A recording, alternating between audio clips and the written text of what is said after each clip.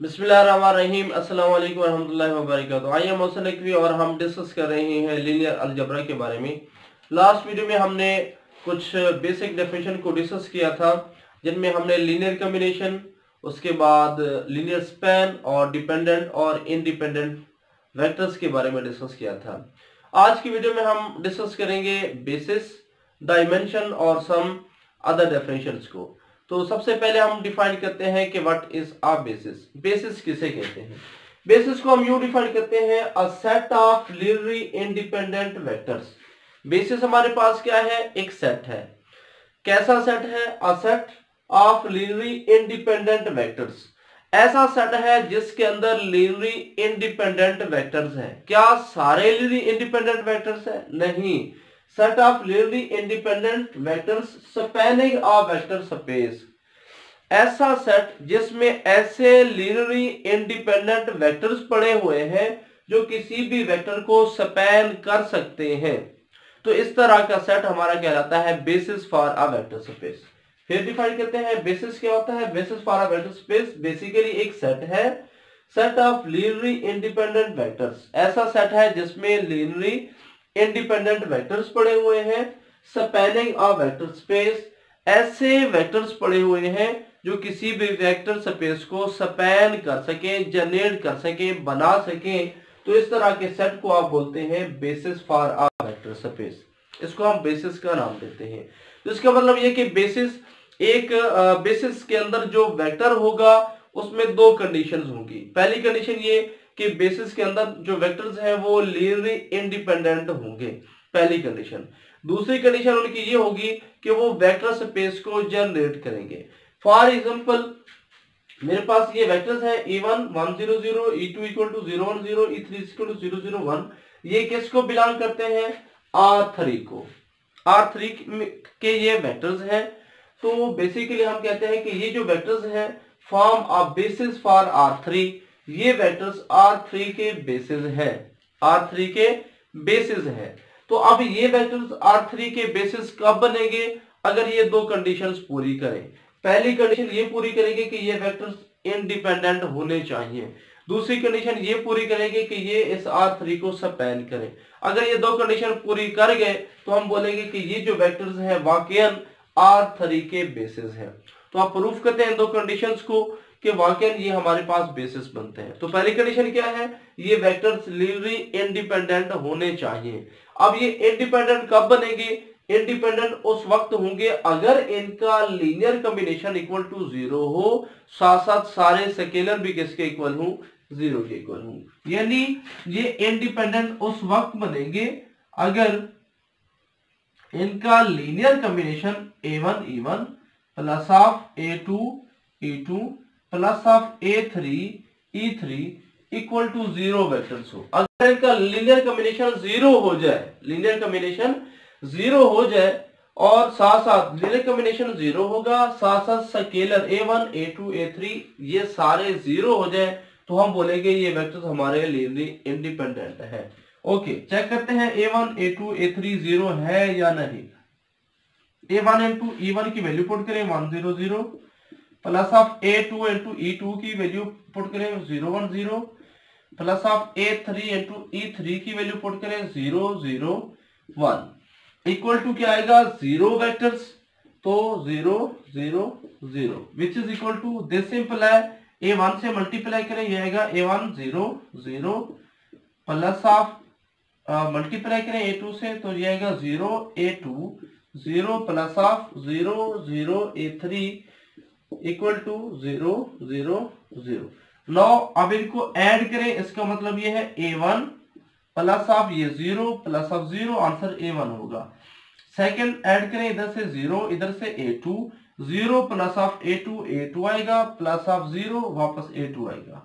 Zero plus zero plus of A three answer will be A three is equal to zero zero zero अब इसका मतलब ये होगा कि ए वन भी चूँकि ये order triple equal to this है, इसका मतलब फ़र्स्ट भी equal to first second equal to second and third is equal to third so A one is equal to zero A two is equal to zero A three is also equal to zero अब इस condition को देखिए कि linear combination हमारे पास किसके equal है?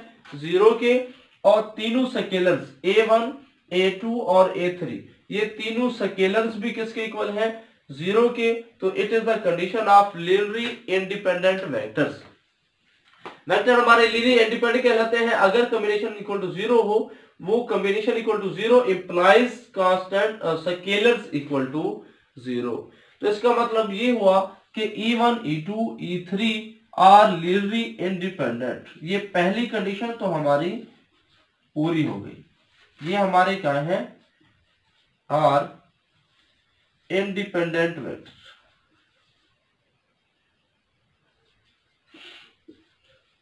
अब हम सेकेंड कंडीशन को सेटिस्फाई करेंगे। सेकेंड कंडीशन क्या है? सेकेंड कंडीशन ये है कि ये जो E1, E2, E3 है ये वेक्टर्स E1, E2, E3 ये सपैन करते हैं।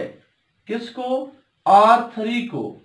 R3 को सपैन करते हैं यानी जनरेट करते हैं। लास्ट वीडियो में मैंने इंडिपेंडेंट और ये सपैन कंप्लीटली डिस्कस किया था। अब हमने प्रूव करना है कि ये सपैन करते हैं, यानी जनरेट करते हैं, यानी बनाते हैं। अब हमें कैसे पता चलेगा कि ये R3 को सपैन कर रहे हैं? तो ऐसे पता चलेगा कि अगर R3 का कोई एक एलिमेंट उठाए, वो एलिमेंट इनका लीनियर कॉम्बिनेशन बन जाए। यानी अगर आप आर थ्री के हर एलिमेंट को इन वेक्टर्स के लीनियर कॉम्बिनेशन की फॉर्म में लिख सके तो इसका मतलब यह है कि ये वेक्टर आर थ्री को सपैन कर रहे हैं। फिर सुने, ये वेक्टर आर थ्री को कब सपैन करेंगे? अगर R3 का कोई एलिमेंट उठाए, वो एलिमेंट इनके लीनियर कॉम्बिनेशन की फॉर्म में आ जाए। यानी R3 का हर एलिमेंट अगर इनका लीनियर कॉम्बिनेशन बन जाए, इनके लीनियर कॉम्बिनेशन की फॉर्म में आ जाए तो इसका मतलब ये आर थ्री को जनरेट कर रही है। तो लेट कर लेते हैं कि हमारे पास ए बी सी एक एलिमेंट है। किसका आर थ्री का? अब चेक करते हैं, क्या ये एलिमेंट ए बी सी इनका लीनियर कॉम्बिनेशन बनता है? ए थ्री ई थ्री अगर आपके पास ये एलिमेंट जो कि मैंने जनरल लिया, इसका लीनियर लीनियर कॉम्बिनेशन बन जाता है यानी इस एलिमेंट को आप इस फॉर्म में लिख सकते हैं तो इसका मतलब ये है आर थ्री के सारे एलिमेंट इस लीनियर कॉम्बिनेशन के फॉर्म में आ सकते हैं। सारे एलिमेंट अगर इन ई1 ई2 ई3 के लीनियर कॉम्बिनेशन के फॉर्म में आप बना सकते हैं, लिख सकते हैं तो इसका मतलब ये वेक्टर्स आर को जनरेट कर रही है। Equal to A one and two अब ई वन किसके इक्वल आएगा?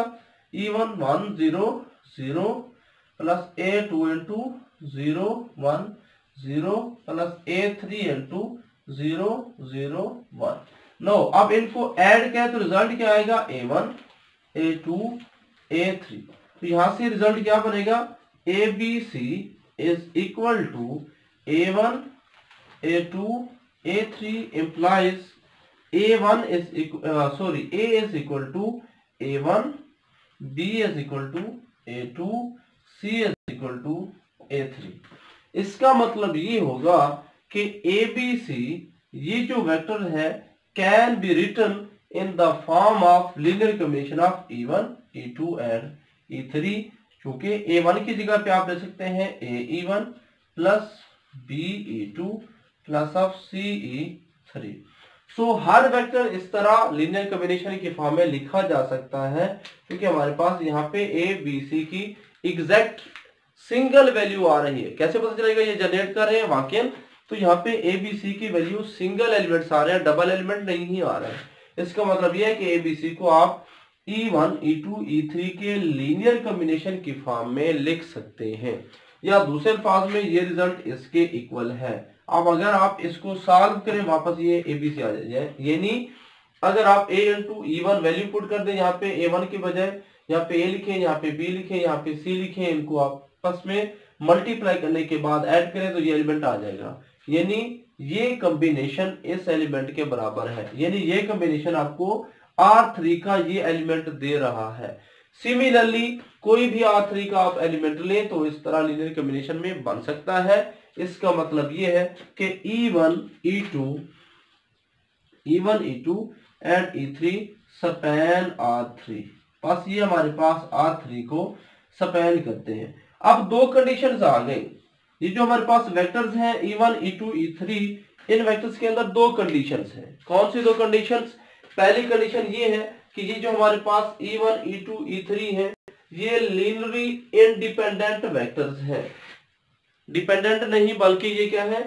लीनरी इंडिपेंडेंट वेक्टर्स हैं। दूसरी कंडीशन इनमें क्या है? कि E1, E2, E3 R3 को स्पैन करते हैं। तो इसका मतलब ये है ऐसे वेक्टर्स जिनके अंदर ये दो कंडीशंस हों कि वो इंडिपेंडेंट भी हों और वेक्टर स्पेस को स्पैन भी कर रहे हों तो उन वेक्टर्स को बोला जाता है basis for a vector space इसका मतलब ये है कि E1, E2, E3 ये जो सेट बनेगा ये जो सेट है हमारा इस बेसिस फॉर R3 ये R3 का बेसिस है। इज़ बेसिस फॉर R3 तो यहाँ पे हमारी ये जो बेसिस की डेफिनेशन है कंप्लीट हुई। तो बेसिस में बेसिस की क्या डेफिनेशन है? Set of linearly independent vectors spanning a vector space वो इंडिपेंडेंट वेक्टर जो किसी भी वेक्टर स्पेस को स्पैन कर सकते हैं, वो हमारे क्या कहलाते हैं? वो हमारे बेसिस कहलाते हैं। नेक्स्ट हमारे पास डेफिनेशन है डायमेंशन डायमेंशन क्या होता है?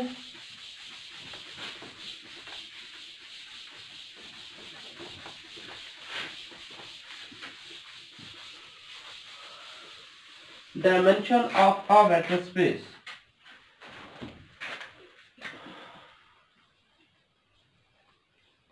dimension of a vector space अब डायमेंशन क्या होता है डायमेंशन का क्या मतलब है number of elements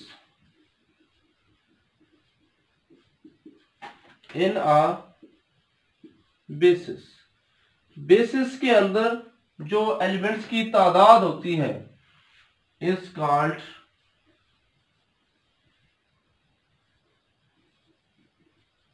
dimension of a vector space इसको हम बोलते हैं वेक्टर स्पेस की डायमेंशन अब अगर कोई आपसे पूछता है कि डायमेंशन ऑफ़ आर थ्री कि ये जो आर थ्री है, इसकी डायमेंशन क्या है?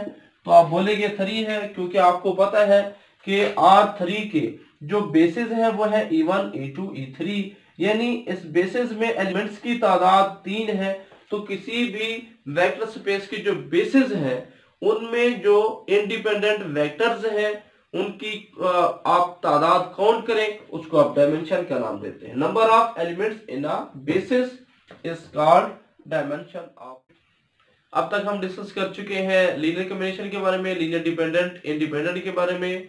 साथ साथ हमने बेसिस और डायमेंशन को भी डिस्कस किया। स्पेनिंग ऑफ़ सेट के बारे में भी हमने डिस्कस कर लिया था। अब हम डिफाइन करते हैं सब स्पेस के बारे में कि एक अगर वेक्टर स्पेस हो तो उसकी सब स्पेस क्या होती है? तो सब स्पेस की डेफिनेशन क्या है? Let V be a vector space पहली बात भी हमारे पास एक वेक्टर स्पेस होनी चाहिए। और non empty set W of a vector space V. ठीक है? A non empty subset. A non empty subset W of a vector space. कोई भी नॉन एम्प्टी सेट जिसका नाम हमने W रखा नॉन एम्प्टी सबसेट है किसका? वेक्टर स्पेस का. Over F is said to be a subspace ये जो हमारे पास W है, इस W को हम सब स्पेस का नाम देंगे। शर्त क्या है? V हमारे पास वेक्टर स्पेस है, W उसका सबसेट है। तो W को हम सब स्पेस का नाम देंगे। कंडीशन क्या है? शर्त क्या है? कंडीशन ये है if if W is itself a vector space शर्त यह है कि यह subset W itself vector space होना चाहिए। ओवर एफ़ फ़ील्ड के लिहाज से अंडर द अगली कंडीशन पे गौर करें कि ये हमारे पास वेक्टर स्पेस हो under the same operation as defined in V उसी ऑपरेशन के लिहाज से जो हमने वेक्टर स्पेस पे डिफाइन किया, ये कंडीशन बड़ी इंपॉर्टेंट है। वी हमारे पास एक वेक्टर स्पेस है डब्ल्यू उसका नॉन इम्प्टी सबसेट है। तो डब्ल्यू को हम सब स्पेस कहेंगे कंडीशन ये है कि डब्ल्यू वेक्टर स्पेस बने बट उसी ऑपरेशन के साथ जो हमने वेक्टर स्पेस पे डिफाइन किया, और ऑपरेशन के लिहाज से नहीं, अगर किसी और ऑपरेशन के लिहाज से ये वेक्टर स्पेस बन जाए तो फिर ये वेक्टर स्पेस तो होगी, लेकिन सब स्पेस नहीं होगी। फिर रिपीट करते हैं वी हमारे पास वेक्टर स्पेस है डब्ल्यू उसका नॉन यूनिटरी सबसेट है। तो डब्ल्यू को हम क्या कहेंगे कि डब्ल्यू हमारे पास सब स्पेस है, शर्त क्या है कंडीशन ये है कि डब्ल्यू हमारा इट सेल्फ वेक्टर स्पेस बने, खुद वेक्टर स्पेस बने मगर किसके लिहाज से? उसी ऑपरेशन के लिहाज से जो हमने वेक्टर स्पेस पे डिफाइन किया था। अब नेक्स्ट हमारे पास एक शॉर्ट थ्योरम है जो कि सबस्पेस की डेफिनेशन के तौर पर भी यूज़ होता है। हमें कैसे पता चलेगा कि एक सबसेट हमारे पास सबस्पेस है या नहीं? तो ये थ्योरम हमें आ, काफ़ी हद तक हेल्प करता है कि हम ये चेक कर सकते हैं कि आया ये सबसेट सबस्पेस है या नहीं। तो थ्योरम क्या कहता है कि अगर आपके पास V एक वेक्टर स्पेस हो W उसका सबसेट हो तो इस W को आप बोलेंगे कि यह सब स्पेस है। कब? अगर ये W दो कंडीशन सेटिस्फाई करे। V वेक्टर स्पेस है, W उसका सबसेट है। तो W सब स्पेस बनेगा अगर W दो कंडीशन सेटिस्फाई करे। कौन सी दो कंडीशन पहली कंडीशन ये है कि हम W में से अगर दो एलिमेंट उठाएँ W1 W2 इसमें से दो एलिमेंट उठाएँ, उन दोनों को ऐड करें आंसर वापस W में आना चाहिए। दूसरी बात, हम W में से एक एलिमेंट उठाएँ। एक फ़ील्ड से स्केलर नंबर लें। W को इस स्केलर से मल्टीप्लाई करें। मल्टीप्लाई करने के बाद जो आंसर है वो वापस किसमें आना चाहिए? W में आ जाए तो हम बोलते हैं ये W हमारा सब स्पेस है। W सब स्पेस कब बनेगा? शर्त क्या है? दो कंडीशन पूरी करें। पहली कंडीशन कि W में से दो वेक्टर उठाएँ। वन टू उनको ऐड करें, आंसर वापस W में आना चाहिए। दूसरी बात, W में से एक वेक्टर उठाएँ और एक फ़ील्ड से स्केलर उठाएँ। इन दोनों को मल्टीप्लाई करें, आंसर वापस W में आना चाहिए। अगर ये दो कंडीशन होल्ड कर जाए तो हम बोलते हैं कि W हमारे पास वेक्टर V की एक सब स्पेस है। फॉर एग्ज़ाम्पल मेरे पास एक वेक्टर स्पेस है, V is equal to R square याद रख ले आर स्केयर है R three R four R N ये हमारी अंडरस्टूड वेक्टर स्पेसेस है। ठीक है? तो V is equal to R square एक वेक्टर स्पेस है। तो मैंने डब्ल्यू एस का एक सबसेट ले लिया। इसका सबसेट है जिसमें इस तरह के एलिमेंट्स है एक्स कॉमा ज़ीरो अब देखिए आर स्केयर हमारे पास चूँकि वेक्टर स्पेस है तो इसके जितने भी आर स्केयर में एलिमेंट्स होंगे, वो ऑर्डर्ड पेयर की फॉर्म में होंगे। इस तरह के इसके एलिमेंट्स होंगे जिसमें एक्स वाई हमारा रियल होगा। अब पहली कंडीशन तो यह है कि ये डब्ल्यू वाक्यन इसका सबसेट है क्योंकि डब्ल्यू के एलिमेंट भी ऑर्डर्ड पेयर में है। इसका मतलब यह कि डब्ल्यू मैंने इसी से लिया आर स्केयर से ही लिया। सो हमारे पास आर स्केयर एक वेक्टर स्पेस है डब्ल्यू इसका सबसेट है। अब मुझे चेक करना है कि क्या ये डब्ल्यू सब स्पेस है या नहीं। तो मैं डब्ल्यू में से दो कंडीशन चेक करूँगा। पहली कंडीशन क्या है? सॉल्यूशंस के अंदर पहली कंडीशन हमारे पास क्या है? फ़र्स्ट कंडीशन ये है कि W से दो एलिमेंट उठाए ऐड करें आंसर वापस W में होना चाहिए। तो मैं लेट कर लेता हूँ कि x1 zero and x2 comma zero belongs to W मैंने W से दो एलिमेंट उठा लिए। अब इनको ऐड करते हैं जरा। ऐड करें x1 zero plus of x2 zero तो आंसर क्या आएगा? इक्वल टू ऐड करेंगे तो x1 plus of x2 comma zero plus zero zero आएगा। ये वापस W को बिलोंग करता है। कैसे आपको पता चला कि वापस W को बिलोंग करता है? देखिए, W में एंटर होने के लिए आपके पास क्या शर्त है? W में एंटर होने के लिए पहली कंडीशन यह है कि जो एलिमेंट्स ऑर्डर्ड पेयर में होगा और ऐसा ऑर्डर्ड पेयर जिसका फ़र्स्ट वैल्यू तो कुछ ना कुछ होनी चाहिए सेकंड कोऑर्डिनेट ज़ीरो हो। फ़र्स्ट उसका कोई ना कोई कोऑर्डिनेट आता हो सेकंड ज़ीरो हो, वो डब्ल्यू में आ सकता है। दूसरी कंडीशन ये है कि ऑर्डर पेयर के अंदर जो आप नंबर लिखे एक्स व ज़ीरो वो रियल होने चाहिए। डब्ल्यू में एंटर होने के लिए दो शर्त है। पहली कंडीशन क्या है कि जो ऑर्डर्ड पेयर में ऐसे एलिमेंट जिनका सेकंड कोऑर्डिनेट ज़ीरो हो, वो डब्ल्यू में आ सकते हैं। दूसरी कंडीशन एक्स और ये ज़ीरो तो वैसे रियल है एक्स जो है वो रियल होना चाहिए। अब यहाँ पे देखिए इन एलिमेंट्स को एक्स वन एक रियल है क्योंकि हमने डब्ल्यू से उठाया तो एक्स वन भी रियल है एक्स टू भी रियल है। एक्स वन रियल है एक्स टू भी रियल है तो इनको जब आप ऐड करेंगे रियल के अंदर क्लोयर लॉ होल्ड करता है। क्लोयर लॉ के मुताबिक X one plus X two ये भी रियल होगा। अब देखिए फ़र्स्ट कॉर्ड इसका सेकंड कोऑर्डिनेट ज़ीरो आ रहा है, और फ़र्स्ट इसका रियल है इसका मतलब यह है कि वापस डब्ल्यू में आ सकता है क्योंकि डब्ल्यू की दोनों बातें पूरी हो गई।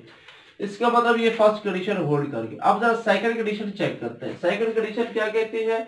कि डब्ल्यू से एक वेक्टर उठाए और स्केलर ले। वेक्टर और स्केलर को मल्टीप्लाई करें। तो A into W A into W से मैंने एक एलिमेंट उठाया एक्स कामा ज़ीरो अब मल्टीप्लाई करेंगे तो क्या आएगा? ए एक्स एंड ज़ीरो देखिए ए हमारा स्केलर है एक्स भी एक स्केलर है, यू समझ ले रियल है रियल की हम बात कर रहे हैं तो रियल पे डिफाइन करें तो ए भी रियल है एक्स भी रियल है। तो मल्टीप्लाई करेंगे क्लोयर लॉ के मुताबिक रियल में क्लोयर लॉ होल्ड करता है ए एक्स भी रियल होगा। इसका मतलब ये फ़र्स्ट एलिमेंट रियल है। और सेकंड ज़ीरो है तो ऐसे नंबर्स जो ऑर्डर पेयर में हूँ फ़र्स्ट उनका रियल हो सेकंड ज़ीरो हो वो डब्ल्यू में आ सकते हैं। इसका मतलब ये एलिमेंट भी डब्ल्यू में शामिल होगा। इसका मतलब क्या हुआ कि हमारे पास ए डब्ल्यू जो है वापस डब्ल्यू को बिलोंग कर रहा है। सो so, हमारे पास सब स्पेस की जो दो कंडीशंस थी वो दोनों होल्ड कर। गई पहली कंडीशन क्या थी? फ़र्स्ट कंडीशन हमारे पास ये थी कि W1 अगर W2 आप W से दो एलिमेंट्स उठाएँ उनका समेशन वापस W में होना चाहिए। तो हमारे पास होल्ड कर रहा है। यहाँ पे ये बात क्लियर है कि दो एलिमेंट्स मैंने उठाए W1 W2 तो वो डब्ल्यू से दो एलिमेंट उठाए, उनको ऐड किया, वापस डब्ल्यू में चला गया। एक दूसरी कंडीशन क्या है कि एक से केलर उठाए वेक्टर्स डब्ल्यू से एक एलिमेंट उठाए, उनको मल्टीप्लाई करें आंसर वापस डब्ल्यू में होना चाहिए। अब ये दोनों कंडीशंस चूँकि सेटिस्फाई कर रही हैं इसका मतलब ये है कि W हमारे पास वाकई सबस्पेस है। सो so, हम कह सकते हैं कि आर स्केल के लिहाज से ये W equal to X zero ये इसकी सबस्पेस है। सिमिलरली अगर आप ज़ीरो एक्स ले लें ज़ीरो वाई ले लें यानी फ़र्स्ट एलिमेंट ज़ीरो ले लें सेकंड वाई ले लें तो भी वो आपके पास सबसेट है आर स्केयर का और वो भी हमारे पास सबस्पेस बन सकता है। तो ये थी आपके पास सबस्पेस जिसको विद एग्जांपल मैंने डिफाइन किया। तो इनशाला नेक्स्ट वीडियो में हम डिस्कस करेंगे kernel of R transformation and image या range of R transformation with the at and अल्लाह हाफिज़